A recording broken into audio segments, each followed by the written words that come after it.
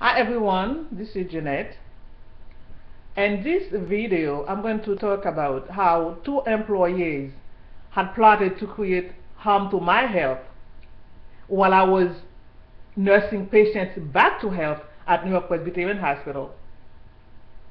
It was Sunday, June 6, 2010.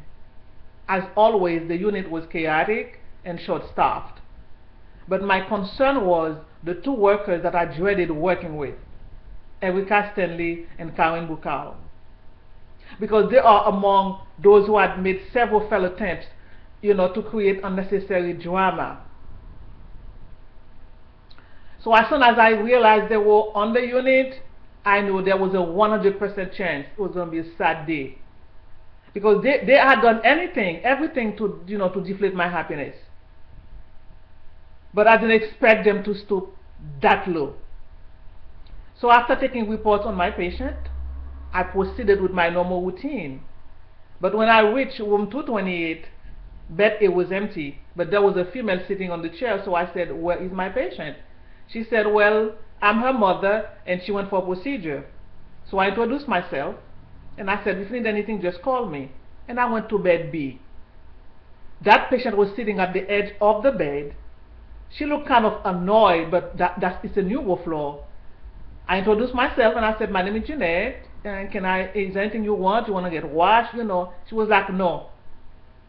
And I said, anyway, I'm going to put my name on the board. If you need anything, just call me. On my way out, I stopped and I struck a conversation with my patient's mother. Even though uh, it's against the, the hospital policy, I always communicate with my patients and their loved ones. Because you, you, you'll be surprised how, how grateful they are. And I learn a lot from my patients. You know, they, all, they each have a story and they're ready to tell anyone who's willing to listen, and I was always there. I received several verbal warnings because there were co many complaints that I, was, I spent too much time uh, with the patients. In any case, I left and I proceeded with room 229 and 30 and so forth and so on. At 11, I went on my 15 minutes break. Coming back at 11.15, Karen Bukal met me at the corner. Before I even reached the nursing station, she came in and she she stopped she, she came in she met me right there. I don't know how she know I, I was coming, but she met me right there and she said, Jeanette, we have a problem. A big problem. I said, okay, what is the problem? She said, uh, the patient in room 228B is crying. And she said, you were very nasty. You were very mean to her.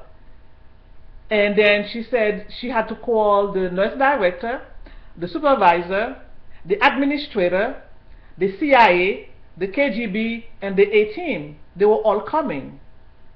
It was kind of strange because during the week when patients were calling, I mean, uh, for like 20 minutes for a bedpan, there was no one. And there was no one downstairs uh, to call. And uh, on a Sunday, someone was coming, the, the entire team was coming because a patient said that I was nasty. I was totally flabbergasted. I was shocked. I'm like, are you kidding me? He said, yes, Jeanette, I don't go to the womb. After I regained my composure, I said, well, I'm going to the womb. Because I'm like, where did that come from? I mean, what happened? I had never... Okay. I was totally shocked. So after I regained my composure, I went to the room. I made my way to the room. When I arrived, guess what I saw? Karen Bukal, a, she's six feet two. She, a patient was flat on her back. Karen leaned over. She was whispering to the patient. That's unprofessional. I don't know. I'm like, why would you do that? A patient just made an, a complaint, and then you leaning, talking to her in a whisper. What the hell are you telling her? So I stepped back, and I asked uh, uh, my patient's mother, Edby, to step aside. And when she came out, and I said to her, do you know that that patient just said uh, uh, uh, uh that I was nasty to her? She said, no, Jeanette, not you. She said, oh, do you want me to speak to somebody? I said, well, there's a team coming. You tell them exactly what had happened. She said, well, Jeanette, I will be here, and I will tell him what I witnessed.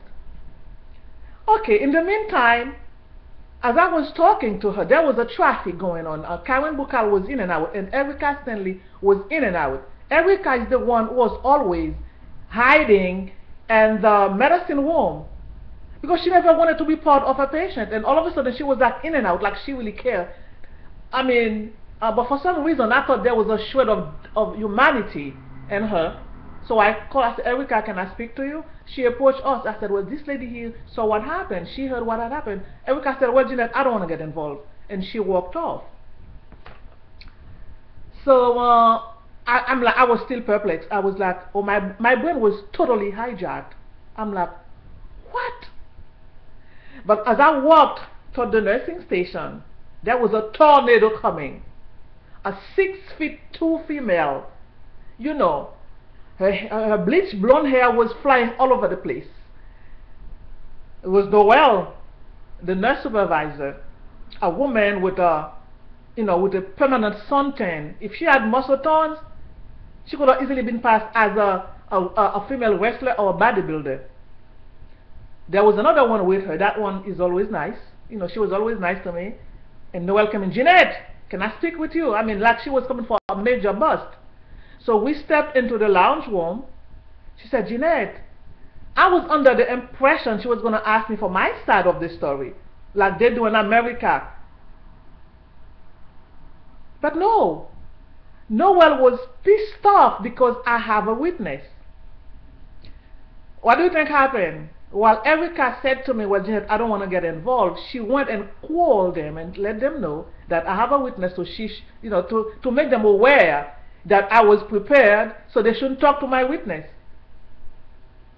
So I said, no, well, of course, the, that patient's mother, she was there, she saw what happened, so she's willing to tell you. She was like, well, Gina, you should never ask her. I'm like, okay. Because at New York Presbyterian Hospital, I'm guilty until proven, even if even when I when proven innocent. That's the, the that's the code they go by. Jeanette is guilty even when proven innocent. So Noel went into the room. I don't know what she said to the patient. And then she left. A few minutes later, I went into the room. The patient's mother was still sitting, and she stepped out. She said, Jeanette, I did talk to them. I said, okay. She said, you know what? They communicated with the patient. They didn't ask me for anything. So I, I ran behind them, and I told them, wait a minute, stop. I saw what happened. And that woman saved the day. But she also said something. She said, Jeanette, those two were coaching the patient. I know for a fact they were doing that. That is exactly what they do. And she said, they were coaching her. And I said, okay. She said, Jeanette, if you want me to call anyone, you know, and she basically gave me her number, her, her, her, work number, and her cell number. She said, Jeanette, call me. And she was willing to send a letter to New York Times and report what had happened because that was unfair. That was totally unfair. But what Karen Bukal and Erica Stanley failed to realize, that lady observed everything. She observed them microscopically. Everything they had done that day, she observed. She said, Jeanette, those two are terrible. I came from uh, being shocked to being pissed off, so I wanted to retaliate. But the thought that I was thinking is against my dignity. So I said I had to do something. So I went to the emergency room. I felt that I was I was really pissed off and I didn't want to spend the rest of the day with them. I, I just wanted to get away from them. Even though when, even after the patient mother told me, Jeanette, those two are up to no good. They were up to no good. They coached the patient. And that's what they did. I didn't do anything to the patient. I didn't do anything for her. So how could she say that I was nice? I, I was um, being nasty to her. And patient had never, ever complained against me. Never. So I was totally shocked. If I had any medical condition, I would have gone to a total cardiac arrest. Thank God, so far I don't have anything, I didn't have anything and I still don't have anything as a result.